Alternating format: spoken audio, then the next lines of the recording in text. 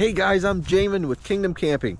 What you see behind me is our latest Adventure Pro Mini 2.0 bill, and I'm gonna walk you guys through it and show you all the ins and outs.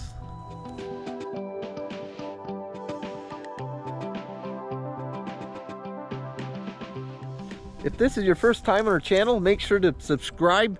That way you don't miss any of our videos of our builds that we're doing. It is important to note that not everything you see on our videos is a standard spec that's included with the trailer. So make sure to hop on our website to see what all the specs that are included. It does come fully loaded, but we allow for customization and people to add on and delete things. Now let's get started here with the obvious. We've got this really nice topo wrap in a matte black with kind of a gold topo lines and it finishes out this trailer really nicely.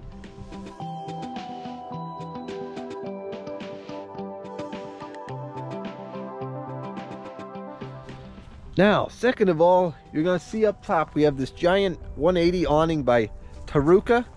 This shower awning by Taruka. It's on the side. And then off to the other side, we've got another 180 awning on the passenger side. That way we have big full coverage all the way around this trailer. One feature that comes with these awnings, it has these light strips. Therefore we added some extra SAE plugs here on the side for this client. That way they can plug in this awning and have some lights at nighttime.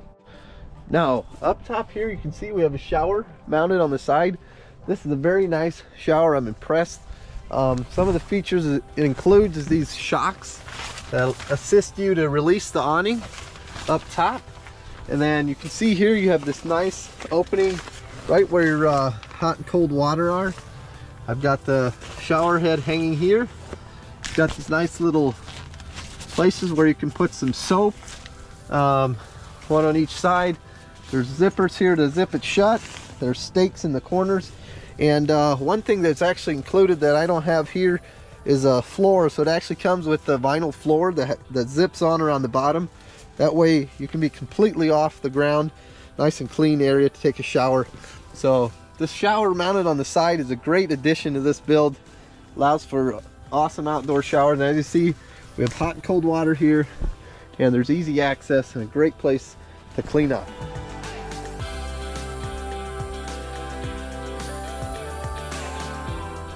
Off to the side you see our rock sliders. This protects the trailer when you're off-roading. Here in each corner we have a ART stabilizer jack. Those drop down and then there's a hand crank to, to force them down to the ground. You can actually lift uh, the trailer up if you want to change a tire. We've got these nice heavy duty door latches. That way when you open your door, you can latch that in place like so. And that allows for you to have your screen door open like this. Here on the driver's side compartment of the storage front storage box is where the LP tank holder, uh, LP line and the regulator are. Uh, you can either put a 20 or a 30 pound tank in this area. Here up above the storage box you can see it's a good place to put extra items that you can strap down. Um, I've got the awning tied to it currently. Um, you can climb up here, you can see the moon gazer window. This is a floodlight off-roading light. And uh, this gives you a view of the Dometic 12 volt air conditioner. And we've added some extra bars here in the front for this client. That makes it possible to have a kayak or something similar across the whole top of this trailer.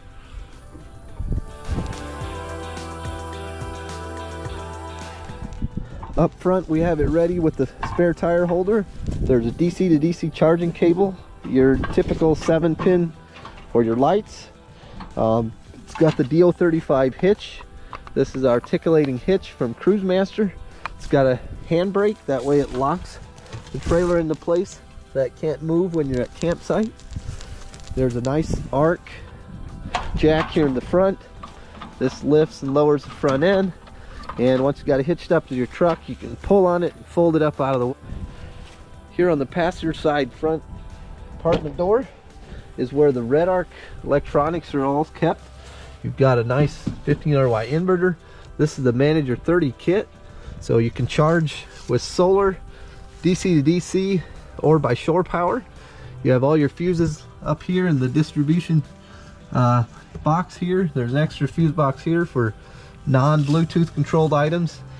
You have a power kill switch here and a solar kill switch. There's a nice little light in here so when it's dark you can see what you're doing.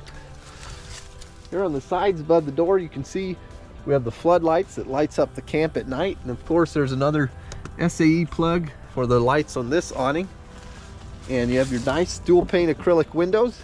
These have a good R value and uh, they don't shatter which is nice for off-road and cold weather camping. Down here you can see there's a LP gas uh, quick connect and we'll get into that in a minute when we slide out this kitchen slide out of this door. So when you go to open this door you can see there's a nice uh, triple seal on this door. Keeps out all the dust and all the water and it's got a tension lock that locks it into place when you shut it. And there's a cable holding this door open. That way you can use it, set stuff on here. Otherwise you go ahead and uh, pull out your slide. First you have the Dometic LP gas two burner cooktop. So you can pull it out just like this if you're cooking you still got some space to put stuff right here. Once you're ready to pull out your fridge you're going to push on those yellow tabs that you see and pull the slide all the way out.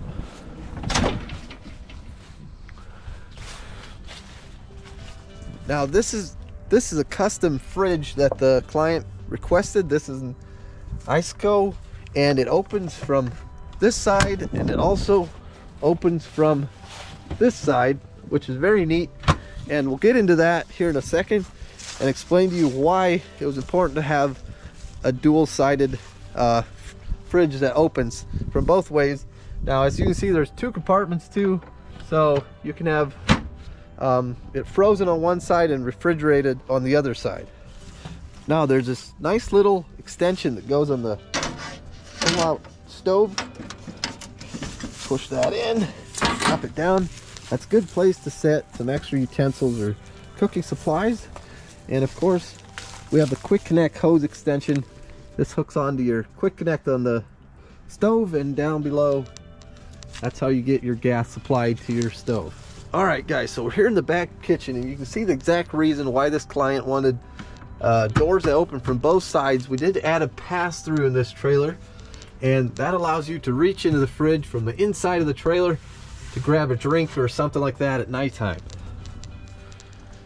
Otherwise, you got your nice uh, overhead cabinets here on struts up top. Give some good storage.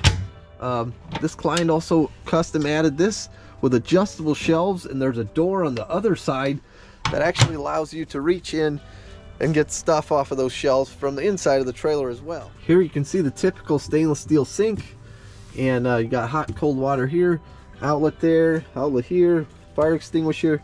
There's a light switch here that turns on and off the light in the back. And just some extra storage, up here. If you've ever wondered why there's nothing in here, this actually serves as an access to get into the shower. So if you pull on this shelf, it'll release itself and uh, you can get in there to work on the shower fittings if you ever need to.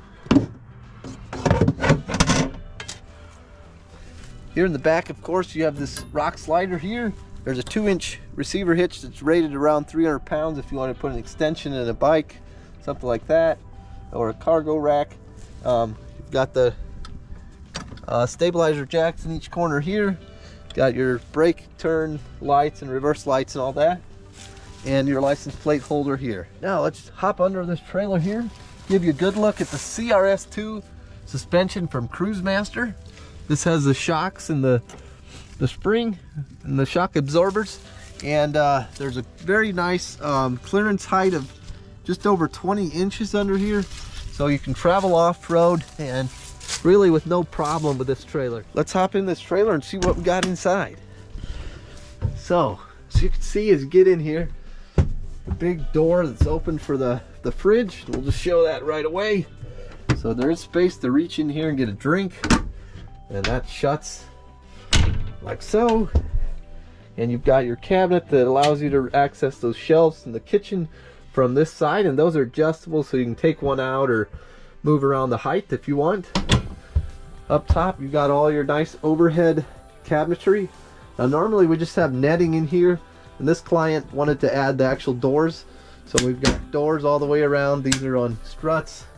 And uh, latch into place when they're shut. We've also added our newly designed bump out wall. So this allows for the heat vents to be moved up higher and blow over the top of the bed.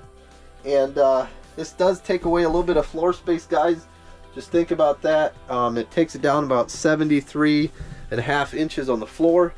Um, so if you're extra tall, like 6'4", 6'5", uh, we do need to remove the bottom half of this cabinet.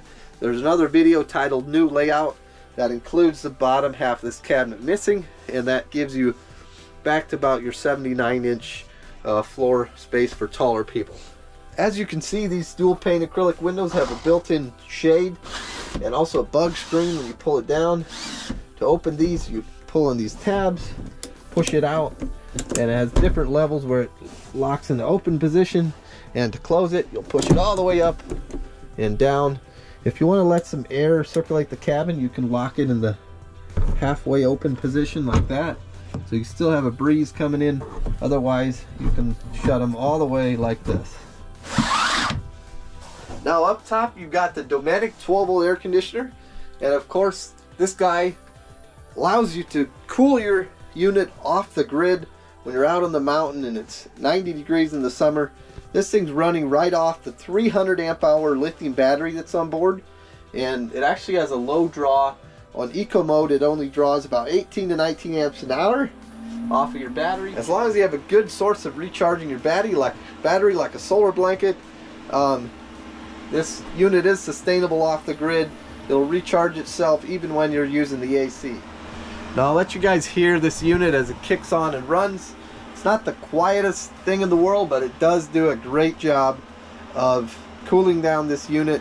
And most of the sound you hear is actually on the outside, so the outside is much louder than it is on the inside here when you're trying to sleep. And as long as you get it down on like the low fan mode and on eco mode, it does run pretty quiet. Up front here, you see our large moon gazer window. Um, we've got our 110 plugs, USBs, wireless chargers. These have built-in A and C uh, type USB. Typically, we do include a smart TV in this space. Uh, this client decided to delete it out. I believe they'll be working quite a bit in here. We actually added an SAE plug here. That's how he normally charges his laptop the way I understand it. So they're going to be on the road and be able to work out of this trailer um, and have you know off-grid power and if they got their Starlink they can run their internet off the grid as well here. Here you see the Redarc display. This gives you control like your lights, your water pump, your floodlights outside, your your inverter, um, your furnace which is down below here and really it tells you everything about the trailer's electronics.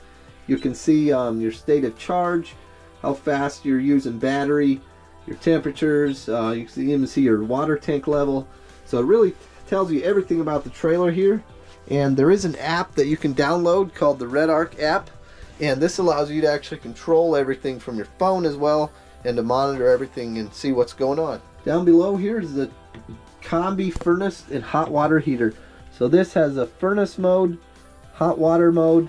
Um, this tells you your input, gas or electric, and then your fan speed. And this is all built into one nice little unit um, in the back and runs off LP gas or electric.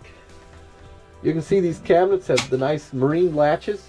This is all a Bicom poly plastic material. There's no wood used in the entire unit, so nothing's going to rot or mold over time. It's going to hold its value for a long time and these latch shut into place like so, so they can't open when you're going down the road.